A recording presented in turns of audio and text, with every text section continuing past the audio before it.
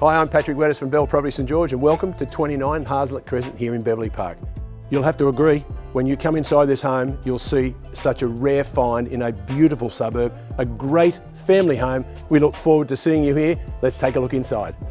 Representing prestige, low maintenance living and an easy care lifestyle all year round, this is your chance to purchase a wonderful double brick home in a highly desired pocket of Beverley Park.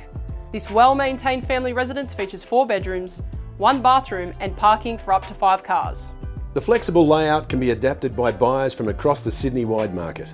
Fitness enthusiasts could look at integrating a wellness zone, whilst doctors and nurses with residency at St George public and private hospitals can walk to work in under 20 minutes. Overall, this home offers the perfect balance between indoor and outdoor enjoyment.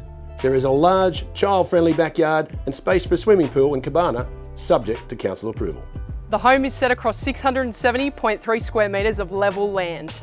My favourite feature is the Hunter Valley Winery vibes. This is the ideal location to raise a family, entertain and host those amazing dinner parties.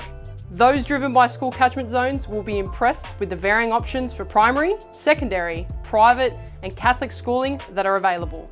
With convenience at your fingertips, the home is positioned within minutes of Carlton train station, bus transport, those groovy cafes and restaurants, supermarkets, Jubilee Oval and Netstrata Jubilee Stadium. Beachgoers, essential workers and cyclists will love the access to Sydney Airport and Lady Robinson's Beach in under 15 minutes.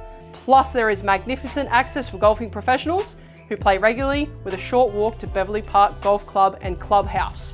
It is an easy commute to the Sydney CBD for those working in the central hub of the city. From both myself and my father Patrick, we look forward to seeing you at the next open home.